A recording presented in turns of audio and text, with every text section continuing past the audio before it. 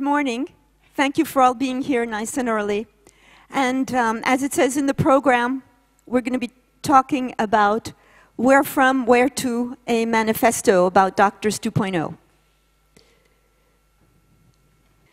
going to speak first about the web.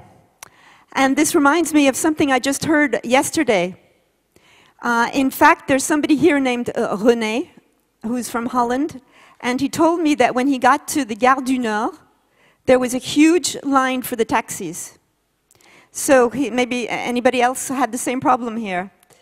So he, um, he took out his uh, phone, I guess, and he tweeted, Doctors 2.0 on way, uh, waiting for taxi. And Tim Lloyd, who was up front of the line, saw this tweet, stepped out of the line to see who it was, and the other guy got into his taxi. So, so the web is everywhere. We're going to then talk about the health web. And I'm going to try and make sense out of the program. There's today's agenda seen as a word cloud. So, here's an interesting photo. Has anybody seen it? So this was actually a hoax. It was presented as 2004, seen by the RAND Corporation in the 1950s. The reality is that this was a computer that was condensed to fit into a submarine. But look at how huge it was then. And people recently believed that this was a vision of the year 2000. Why did they believe that?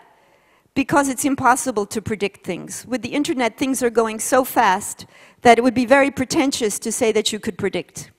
Because in fact, this is what it has become. This global set of connections.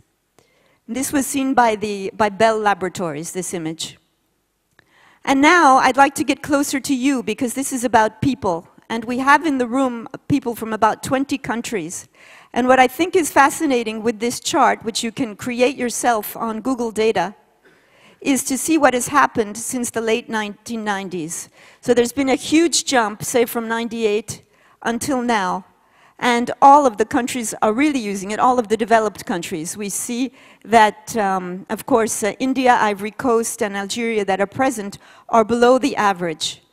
We also see that Sweden and the Netherlands, as it was said yesterday, are the highest. They're close to 90%. And um, I use the word manifesto not by accident because I found this extremely interesting. Many of you here have probably read the book, Cluetrain Manifesto.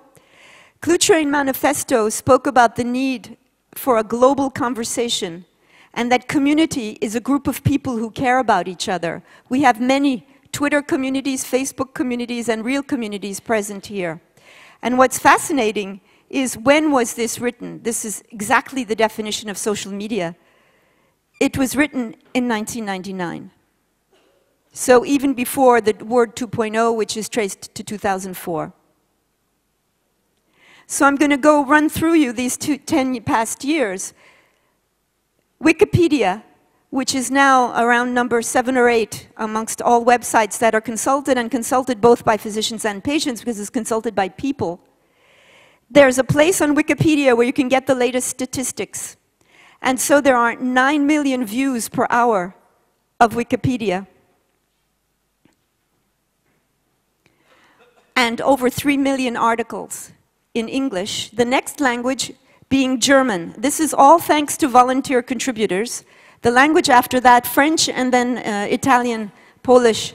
This is not representative of the percent on the web. English is much lower now than first place. But this reflects the generosity of volunteers who are contributing and who are editing. So Facebook. You know that on April 20th, Barack Obama went to California to meet with Mark Zuckerberg and his crowd. Zuckerberg got out of his gym clothes for once. And less than two months later, never to be outdone, Sarkozy was seeing Zuckerberg in Deauville. This is the world of Facebook. These are all the connections of people using Facebook, and these are the figures. It's predicted that Facebook would reach 1 billion by next year. Facebook is slowing down in developed countries as it reaches the 50, 60%, but there's a lot of other growth potential, so the 1 billion is certainly possible. And as we are speaking, in these few minutes, 2 billion messages, 2 billion wall posts, the figures are boggling of what is happening on Facebook. So when people say to me, well, should I be present on Facebook with my cause, my organization, my corporation, my hospital? How can, why would you not be where people are? Why would you be just off alone on your own domain name? And Facebook is all about relationships. The people that you will meet in this room, you'll probably friend them afterwards. I think you know that one in five marriages are now attributed to Facebook and one in six divorces. YouTube, another uh, six-year-old. What is a six-year-old? Nothing. And yet, the second biggest search engine after Google, and that is why it belongs to Google. So it's 3 billion views a day. There are only 2 billion people using the internet, so the average person is seeing one and a half videos per day. And Twitter, which for a long time people were saying was too complicated, and given that you have to remain within 140 characters, for example, in France, people were saying it couldn't happen because the French language is longer than in English, for example. Well, now Twitter is the 13th website in France. And in the Huffington Post, which has now surpassed the New York Times online and is coming to all of Europe, it was noted that Twitter is 1 billion tweets per week. Um, the mobile phone, another incredible aspect. Yes, it's been out for over 20 years, but in France, for example, people would call it a where are you, te où because the mobile phone follows you everywhere. Continuing on in the notion of quick change, when Steve Jobs came back to Apple and invented the iPad, he really made history, and we'll be talking a lot about that today. It came out barely a, over a year ago at the time of our last conference, and now it has reached an incredible path. What you see on the bottom in green is the iPod. How many of you can remember how fascinating it was to first have an iPod? Well, the iPod was totally crushed by the iPhone, which has itself been crushed in terms of sales by the iPod, by the iPad. But all of this is nothing if it's not about people. It's not about machines, it's about people. And so what we've been seeing is that the world is being taken over by people using social media, using mobile devices, and using applications. So now for the healthcare part. Well, this is a great thing to know. There's a huge percent of doctors who say that the internet is essential to their practice. And we know that in India or Bangladesh, if it's lower, it's only because of a lack of resources, not because people wouldn't want to. And, and, there's a, I think there are more computer programmers in India than in all of Europe. So it's not for a lack of interest in, in computers. And at the other end, we're really all around 80%. So this could be very positive. Doctors have computers. But what are they doing with them? Well, I don't know how many of you know this website, UpToDate. Since so many doctors were mentioning it to me, Victor, I'm sure you know UpToDate, you have a subscription. Probably everybody at the Mayo Clinic has a subscription, right? Um, so it's 9,000 topics, 4,000 physicians writing, and as you can see here, it is explaining the official recommendations. In Europe, most of the recommendation, the clinical recommendations to physicians are presented on PDF in 50 pages, 100 pages, and it's not usable this encyclopedia for physicians makes it usable, so it's very attractive. Doctors are also going crazy over applications, like helping them better read an electrocardiogram, or even a latest application that can help read an image to know whether a person is having a stroke or not. This is something that used to be very complex telemedicine. It could now be done on an iPad. So this is all looking extremely happy to us.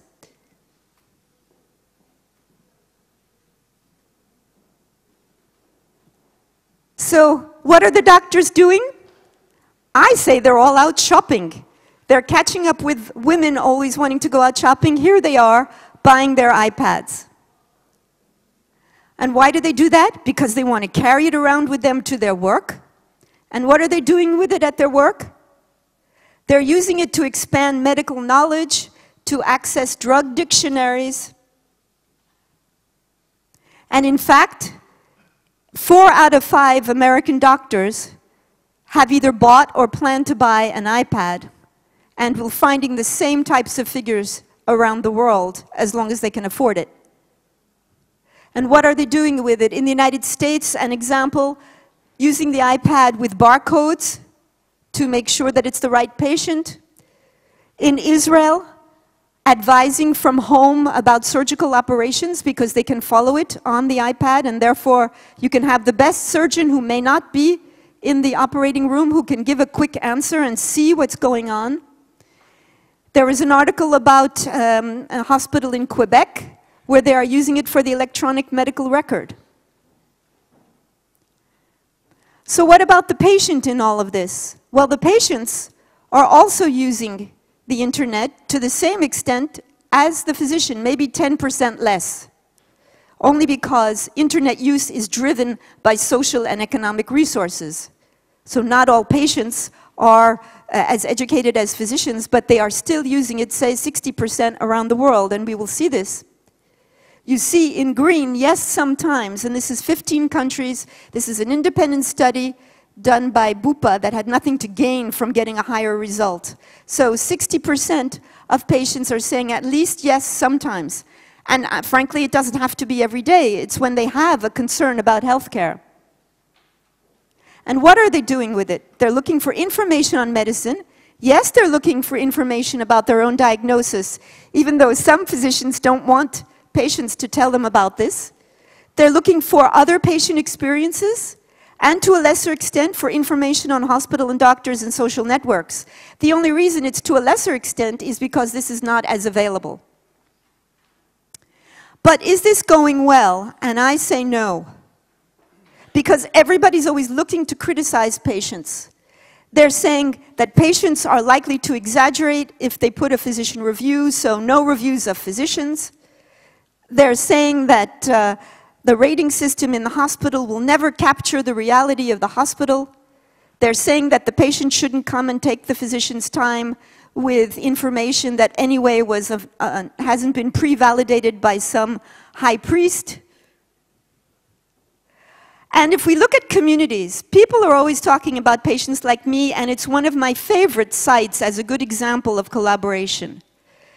There are 350 million people uh, easily between the United States and Canada uh, who could be using this site.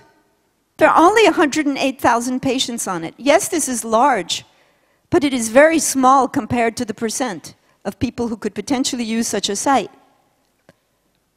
In France alone, on a forum called Doctissimo that has millions of people, just the news part has over 2 million comments. So people are more likely to go into a forum and put a comment than to actually fill in data about themselves, as we see is required for PatientsLikeMe. And yet, as a result, somebody said it's really time for doctors to embrace social media. Patients want to find information and then have their doctor or somebody equivalent to discuss it with. And so we see this, for example, which is she wants to discuss with her doctor and with other patients her skin condition, let's say. And he says, Where do I find the time? What is my responsibility if I do so? And in fact, the AMA discourages physicians from interacting with patients. And yesterday in the French workshop, the French Order of Physicians, which is somewhat equivalent, said the same thing. A French physician should not friend a patient on Facebook. And so this is the look of physicians when you talk to them about social media. Security. What happens if somebody hacks into my account? like Mr. Weiner, for example? What about my own privacy and the patient's privacy? And my time. He's wearing a nice expensive watch to check out his time. So fortunately, we have people like Gilles Frydman, who is here today, working on things called participatory medicine, a movement in which network patients shift from being mere passengers to responsible drivers of their health and can be viewed as valued partners. But a survey was done recently in Europe, and I believe the highest was the Netherlands. We came out with only 31% of physicians saying that they could conceive of the idea of the patient as a partner. The lowest country, and I won't embarrass them because they're in the room, was 5%. Jan Geissler, whom you saw yesterday, he's very interested in oral treatment of cancer and non-adherence, which is a big problem, and he's working on that from a standpoint of the patient advocate. Because when a physician tells the patient to take the treatment, that doesn't mean that it can be taken. And this was pointed out to me by Kathi Apostolidis, the uh, Salzburg Global Seminar that she and others attended, calling on cl clinicians to recognize that they have an ethical imperative to share important decisions with patients. Fortunately, we also have with us, and you'll be seeing him later, Bryan Vartabedian, who keeps an excellent blog called 33 Charts, gastropediatrician in Texas.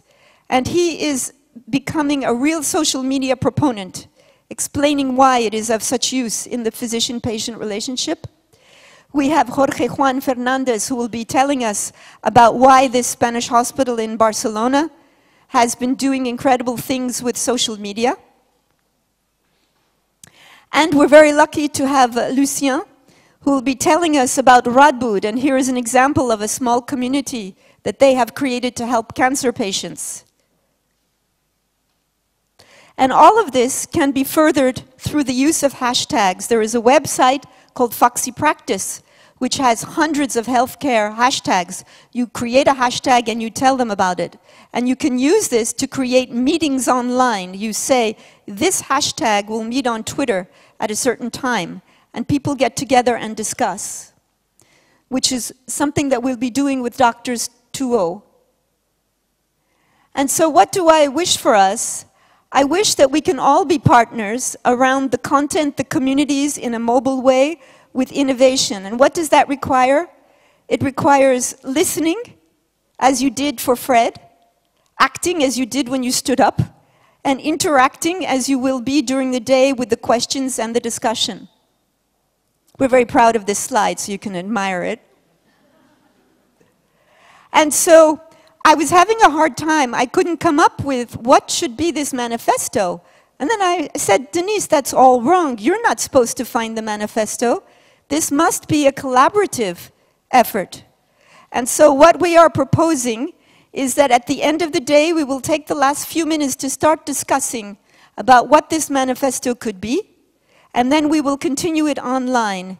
The general theme, which you can question, will be about doctor and patient uh, improving their co collaboration. And so, as I said, I was going to tell you about the program. Let me clarify it for you. Now I've gotten the hang of this thing. Um, let us find the common ground. So, beyond what I have said, we're going to be hearing in a minute from Berci Mesko, who's going to be telling us about the latest apps and services for physicians. We'll then have a panel about physician communities. In that panel, one person will speak in French, so it's going to be translated, but if you're not wearing a headset, you won't hear it. So somebody's going to come in later wearing t-shirts to hand out headsets for those who may not have them. Then we're going to have a lovely session about hospitals, physicians, and patients, begun with the Mayo Clinic and Radboud, and then a panel. And then after lunch, we're going to talk about government involvement, the exciting startup contest, an integrated system example in Europe that combines telemedicine and social media. And then we will finish uh, before the manifesto with a pharma panel. And so I can only say one thing, let the conversation begin. Thank you.